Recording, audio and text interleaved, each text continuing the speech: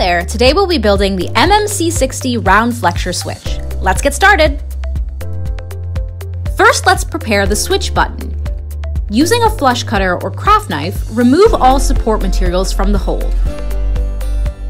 Insert the hex bolt into the slot and make sure the holes are aligned as depicted. With the hex bolt, push the bolt through the thin layer of 3D printed material that's covering a hole at the base bottom. Make sure the hole is completely cleared of material. Take the T-nut, line the teeth up in the grooves on the base bottom and hold it in place. Insert the hex bolt all the way in from the outside. Make sure the teeth engage with the grooves. Using pliers, twist the hex bolt so the T-nut is all the way in and flush. This may take some strength and time. Remove the hex bolt with pliers and set it aside for later. The T-nut should remain in place. Let's prepare the switch jack assembly. Insert the micro switch into the 3D printed switch jack holder. Make sure the switch activator on the micro switch is in the center. Take the wooden dowel and insert it into the two holes all the way to keep it in place. Push it down on your workstation to get it flush, or use a flush cutter to snip off excess material.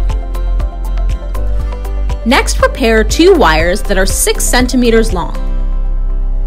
Taking your wire cutter, locate the 22 gauge hole and strip off half a centimeter of plastic from both ends. Wiggle your cutter back and forth and the plastic should come off easily. Remove the plastic and repeat with the second wire.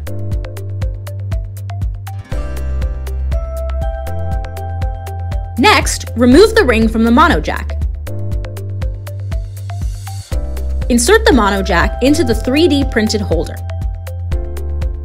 Once it slides in place, twist the ring back and tighten it in place with your fingers or pliers.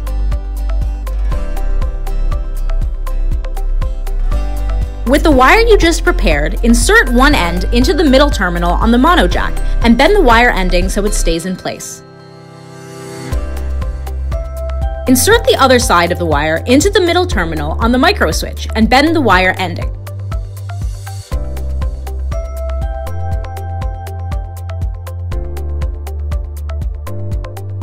With the second wire, insert one end into the right terminal on the micro switch.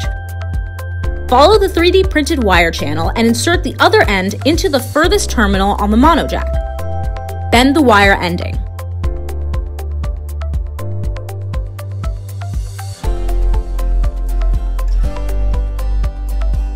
Add a bit of solder on your iron tip and solder all four connections.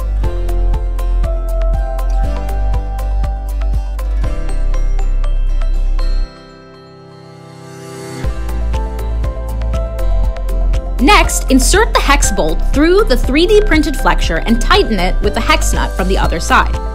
Make sure you insert the bolt from the correct side. Before we assemble everything, check to see if the wires on the switch jack assembly doesn't cover the two screw holes. Insert the assembly into the base bottom by aligning it with the two screw posts and the mono jack hole on the side. Insert two screws in to keep it in place.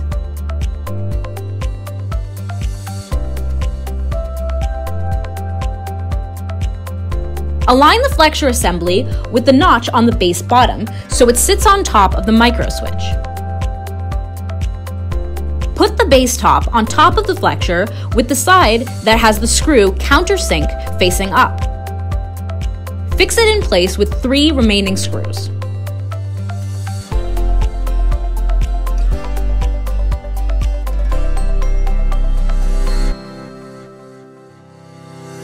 For the last step, Twist the button cover until snug. Be careful not to over tighten. Congratulations! You've just assembled an MMC60 round flexure switch.